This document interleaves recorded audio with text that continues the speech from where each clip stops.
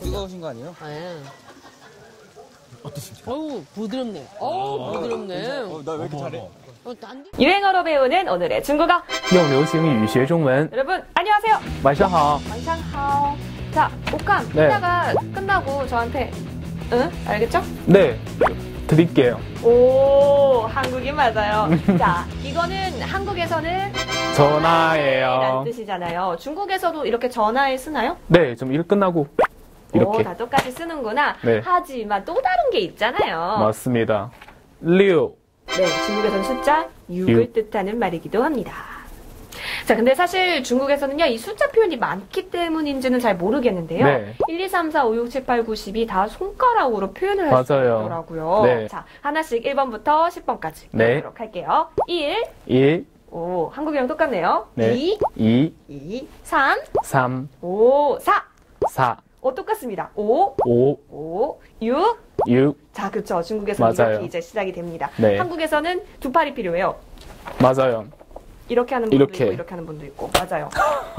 다시 한번 했어요. 무릎을 탁 치셨네요. 네. 자, 6 이렇게 표현을 하고요. 자, 7은 어떻게 표현합니까? 이렇게요.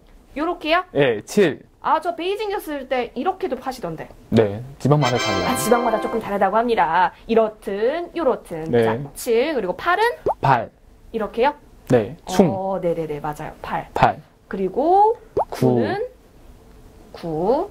약간 9가 요렇게 생겼잖아요. 네, 맞아요. 그 숫자 9처럼 똑같이 하는 것 같아요. 그리고 10은 이렇게요. 주먹으로 이렇게 손가락 하나로 1부터 10까지를 다 표현할 수 있으니까 네. 너무 재밌는 것 같아요. 자, 근데 중국에서 유행하는 것 중에 하나가 바로.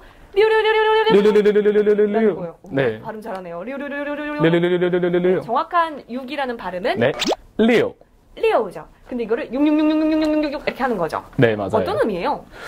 원래 중국에서는 다 게임에서 많이 쓰는 표현인데 그 잘한다는 뜻이에요. 그래서 지금 다 이제 친구들이랑 얘기를 할 때도 르르르르르 이렇게 내가 잘 내가 잘했지 이런 뜻이에요. 그러니까 내가 잘해서 다른 사람한테 좀 과시하고 싶어. 네, 보여주고 싶어서. 아, 나 이번에 상 탔잖아. 네, 잘했지? 약간 이런 뜻? 잘했어요. 사실 중국에서는 8이 조금 더 의미 있는 숫자죠. 네, 발은 그냥 중국어로 파 음. 발음하고 똑같 비슷비슷해서 돈을 벌다. 벌다. 네. 파, 팔의 빠가 비슷하니까 네, 맞아요. 음, 팔을 좋아한다고 합니다. 네. 그래서 뭔가 의미 있는 날에는 888 위엔을 준다고 하더라고요. 네. 정말 친한 친구가 결혼한다 그러면 888 위엔 맞아요. 축의금 주고 한다고 하더라고요.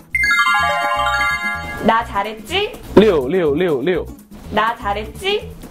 6 6 6 리오 나 잘했지? 리오리오리오리오리오리오리오날 네, 많아지기를 바랄게요. 여러분 이거 종아 아닙니다.